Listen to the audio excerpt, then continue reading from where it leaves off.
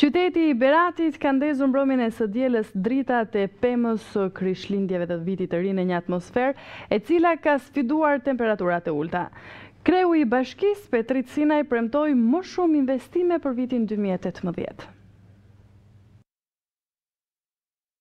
Qendra e qytetit, lagjet muzeale, pedonalja e qytetit është ndriçuar në këtë vigjilje festash. Qytetarë të Beratit, drejtues institucionesh dhe pushtetarë lokalë u mblodhën mbrëmjen e së dielës në qendrën e qytetit, ku u ndez drita e pemës, simbol i festës, por dhe ndriçimi në pjesë të tjera të qytetit. Kryetari i bashkisë Petrit Sinaj e konsideroi vitin dy mijë e shtatëmbëdhjetë, si një vit të rëndësishëm ku u realizuan disa nga projektet që i kanë dhënë jetë dhe zhvillim qytetit, ndërsa premtoi se në vitin e ardhshëm do të realizohen të tjera investime.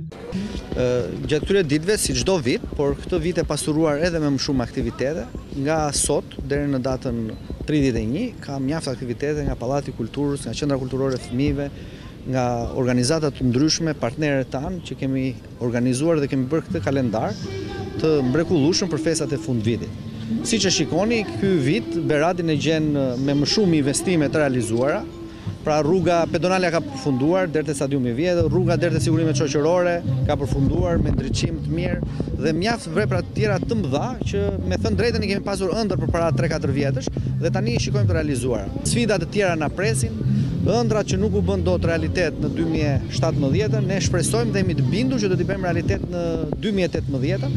Nga ana tjetër, kreu i bashkisë tha se muaji dhjetor do t'i mbajë qytetarët por dhe vizitorët çdo natë në shesh, pasi do të ketë panaire, ekspozita, koncerte e të tjerë. Fëmijët e Qendrës Kulturore mbushën më pas atmosferën me tinguj festivë duke interpretuar këngë festash.